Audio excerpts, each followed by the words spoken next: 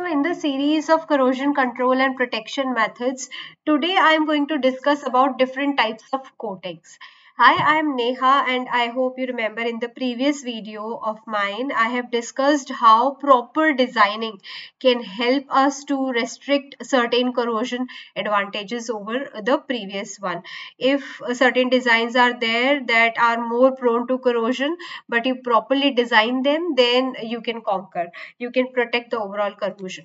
Now today what I'm going to tell you would be the coatings and one of its kind is anodic coatings. Now here what you have to remember is that if it is anodic coating that means it is made up of a coating metal which is anodic to your base metal right so now let's say if your metal is iron or steel then you have to coat it with a metal which is anodic to it Say for example, the coating of zinc, aluminium or cadmium on steel is anodic.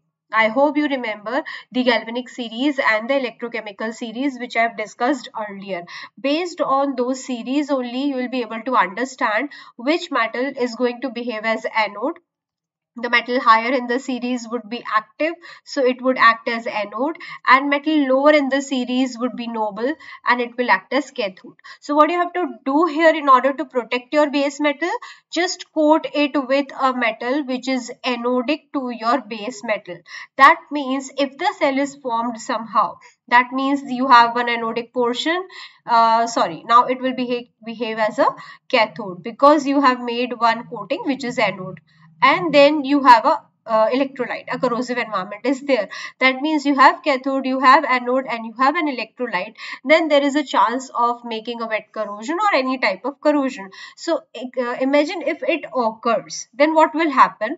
The coating will get corroded right? Because the coating is anode. And at the end your metal will be saved will be saved from the overall corrosion. That's how this method is equally important. Also if this uh, crack uh, there is a crack develops in this coating let's say this is anode but then there is a crack which is developed here. Even then your metal would remain safe. Why? Because that is a cathode and this is an anode. So even if the coating develops a crack then also your metal will remain safe because you have coated it with a metal which is anodic to your base metal. So i hope this is clear. First uh, step is to coat it with a anodic metal Second step is when the coating could be cathodic to your base metal. That means now your metal is anode. Uh-huh. Your metal is anode. This is the difference, right? Earlier it was cathode. And your coating here is of cathode. That means if you have anode, you have cathode and you have electrolyte, then there is development of cell and the corrosion occurs at anode. But now, right now, what you have done, you have coated it with a cathode. So your anode is saved. But this kind of coating is actually dangerous because what happens is if there is certain crack or a pore developed in this cathodic coating, then what will happen? then a localized intense corrosion can occur. There will be small anodic area and there will be large cathodic area and earlier also I told you when the cathodic area is large then the demand of electron would be more and the demand has to be supplied by the anodic material.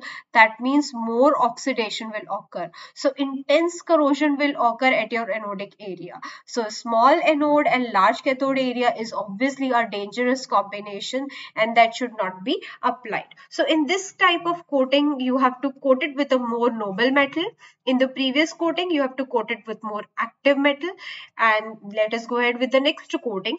This coating is neither anode or cathodic type. It is basically uh, a chemical or electrochemical reaction with the base metal. So you have to coat certain organic materials and then what happens they get converted into a material which is quite safer and that uh, is stable and it does not undergo the corrosion. Normally coatings are thick or thin depending on the thickness coming to like this one is one more like example of chemical conversion coating you know uh, plate the particular uh, metal with another metal so that uh, on reaction it converts into a stable metal.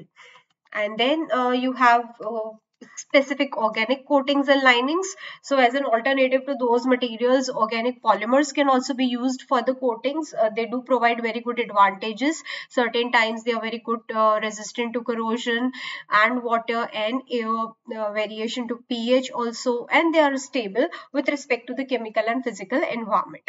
Now depends on like if the coating is thick like thicker than 0.4 you will call it as a coating well like if it is thicker uh, thinner than then coating and if it is thicker than lining.